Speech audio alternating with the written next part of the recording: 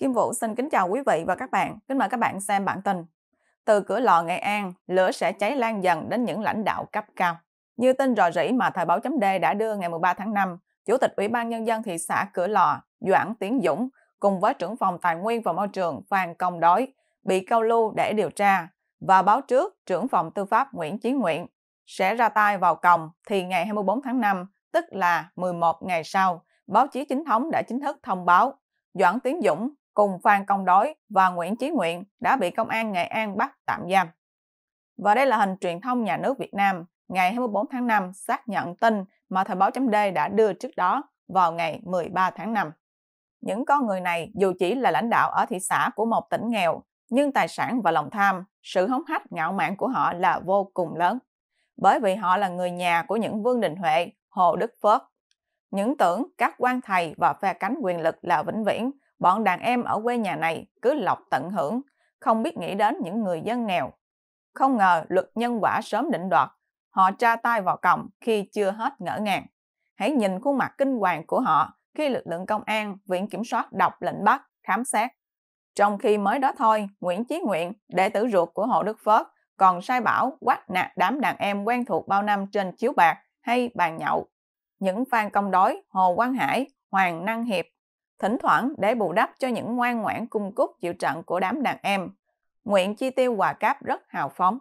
Từ cửa lò, lửa sẽ cháy lan sang các ban quản lý dự án, các sở ban ngành, rồi sẽ đến những lãnh đạo cao nhất.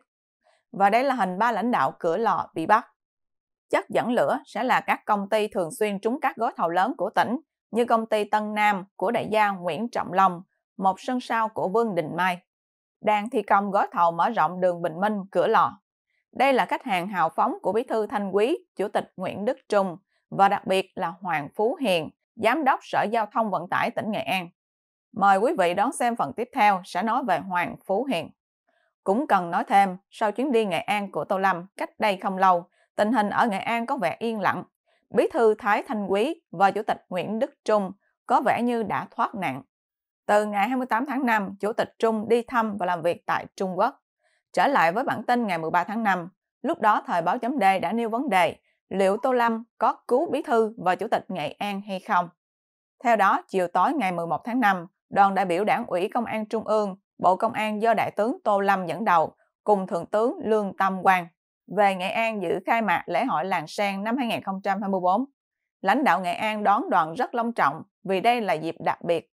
Và đây là hình Tô Lâm và hai lãnh đạo Nghệ An trong chuyến đi dự khai mạc lễ hội làng sen năm 2024. Cả Thái Thanh Quý và Nguyễn Đức Trung đã tranh thủ gặp riêng ông Tô Lâm tại khách sạn 5 sao Mường Thanh trên đường Quang Trung, thành phố Vinh, để thanh minh về những tin đồn gần đây, đồng thời thể hiện sự ủng hộ, trung thành tuyệt đối, lâu dài với ông Lâm. Đáp lại, ông Lâm cũng tế nhị, hứa hẹn xã giao và hướng câu chuyện sang mục đích chính của chuyến đi. Cả Thái Thanh Quý và Nguyễn Đức Trung đều đã nhận hối lộ với số tiền lớn của Phúc Sơn và Thuận An. Cả hai được hậu thuẫn bởi ông Nguyễn Sinh Hùng, Tô Huy Rứa và những quan chức Nghệ An khác ở Trung ương hiện nay. Thời gian gần đây, thị xã Cửa Lò đang khẩn trương sát nhập vào thành phố Vinh. Quý đã tận dụng vơ vét những lô đất đắc địa nhất ở thị xã du lịch ven biển này. Quý và Trung cũng dành sự ủng hộ can thiệp tối đa cho Nguyễn Đức Chi, tức chủ tịch công ty Crystal Bay, để đầu tư về Cửa Lò. Quý vị và các bạn đang xem chương trình trực tiếp của Kim Vũ với bản tin Từ cửa lò, Nghệ An, lửa sẽ cháy lan dần đến những lãnh đạo cấp cao. Xin mời quý vị và các bạn chia sẻ video này cho nhiều người biết và bấm nút theo dõi trên YouTube và Facebook của Thời báo chấm Đề để luôn được cập nhật bản tin mới nhất, nhanh nhất và trung thực nhất. Kim Vũ xin kính chào các bạn và hẹn gặp lại các bạn trong chương trình lần tới. Kim Vũ xin kính chào quý vị và các bạn. Kính mời các bạn xem bản tin bán bổ Phật Pháp, Giáo hội Phật giáo Việt Nam ghi công kẻ gian, trấn an kẻ ác.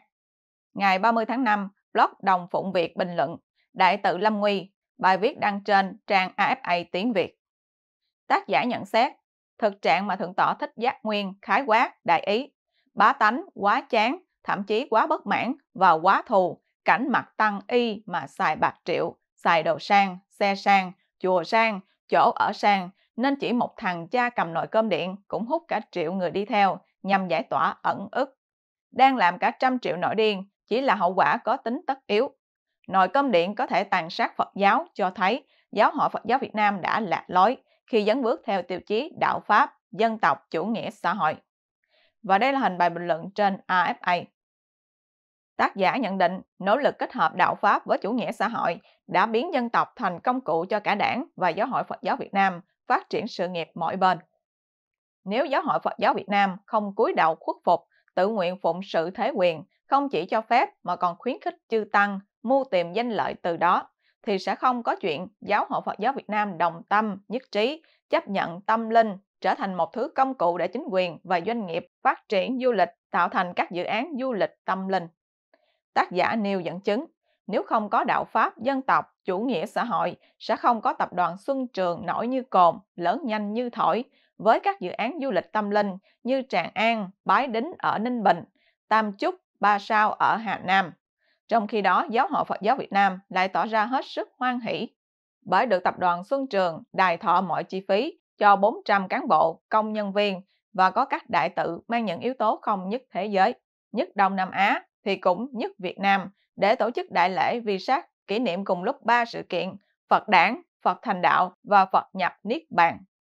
Và đây là hình sư thích minh tuệ. Thời gian qua, Giáo hội Phật giáo Việt Nam tỏ ra rất rạch ròi trong việc minh định người được mạng xã hội gọi là sư thích minh tuệ, không phải tu sĩ Phật giáo và rất nhạy cảm khi việc ông bộ hành có thể bị lợi dụng để xuyên tạc đời sống tu hành của Tăng Ni, Phật tử, Giáo hội Phật giáo Việt Nam nhưng lại rất vô tư khi một số cá nhân không ít doanh nghiệp đem Phật giáo gắn vào các dự án để thu lợi. Hơn nữa, theo tác giả, Giáo hội Phật giáo Việt Nam cũng rất vô tư khi từ trên xuống dưới cùng gửi văn bản cho các cơ quan tư pháp xin giảm hình phạt cho cư sĩ Từ Vân, thế danh là Phạm Nhật Vũ, Chủ tịch Hội đồng Quản trị của An Viên Group.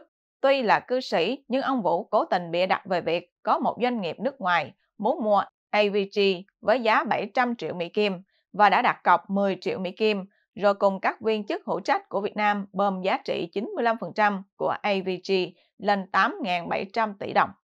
Theo Giáo hội Phật giáo Việt Nam, vì cần giảm hình phạt cho cư sĩ Từ Vân, Phạm Nhật Vũ vì ông ta đã cung hiến 1.300 tỷ đồng cho các dự án an sinh xã hội về y tế, giáo dục và Hoàng Dương Phật Pháp. Và đây là hình cư sĩ Từ Vân Phạm Nhật Vũ. Vẫn theo tác giả, còn gì bán bổ Phật Pháp hơn khi cúng dường, giải nghiệp, tạo phúc lại khiến cho tham quan thêm vững tâm sau khi thẳng tay cướp đoạt phúc lợi của các giới, trấn lột dân lành, thì chi một ít làm công đức là có thể thảnh thơi, ăn no, ngủ kỹ. Những câu chuyện như ông Nguyễn Thanh Hóa, thiếu tướng, Cục trưởng Cảnh sát phòng chống tội phạm công nghệ cao, vừa bảo kê để nhận 20% trong hàng ngàn tỷ đồng lợi nhuận của nhóm tội phạm chuyên tổ chức đánh bạc, vừa cúng chùa Thiên Hưng ở huyện An Nhân, tỉnh Bình Định, một đại hồng chung, hay chuyện vợ chồng ông Lê Văn Minh, thiếu tướng, tư lệnh cảnh sát biển vùng 4.